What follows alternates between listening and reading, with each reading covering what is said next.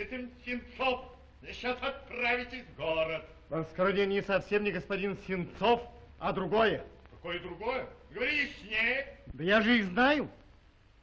Они раньше жили на Брянском заводе. И там их имя было Максим Марков. Там мы их арестовали три года тому назад, ваше скородие. На левой руке, на большом пальце. У них нет ногтя. А? Ага. Ну да. Они не иначе, как бежали откуда-нибудь, если по чужому паспорту живут.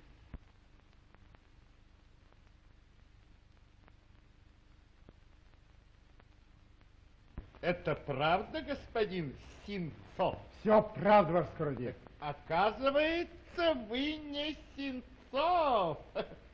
Те-те-те-те-те. Ну-ну-ну-ну-ну-ну. Что бы я ни был, вы обязаны вести себя со мной прилично. Не забывайте. Сразу видно, го, серьезного человека. Трогательно. Квач, ты сам повезешь его. Смотри у меня в оба. Слушаю. Уж, господин Синцов.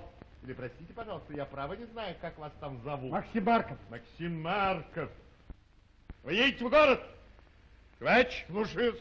Ты немедленно доложишь начальству все, что знаешь о нем. И сейчас же затребовать прежнее производство. Слушаю. А впрочем, это я сам. Подожди здесь, Квач.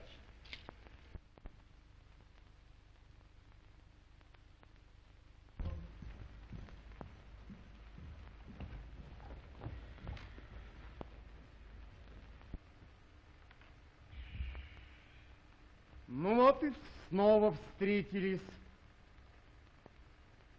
Вы рады? Ну а как же? Знакомый? Да, вам пора бы уже бросить это дело. Он, волосы седые, а приходится как собаки выслеживать. Неужели не обидно? Ничего, я привык. Я уж 23 года служу. Начальство меня уважает, орден обещали, и вот теперь дадут? За меня. Да, и за вас дадут. Вы откуда бежали? Потом узнаете. Да, мы все.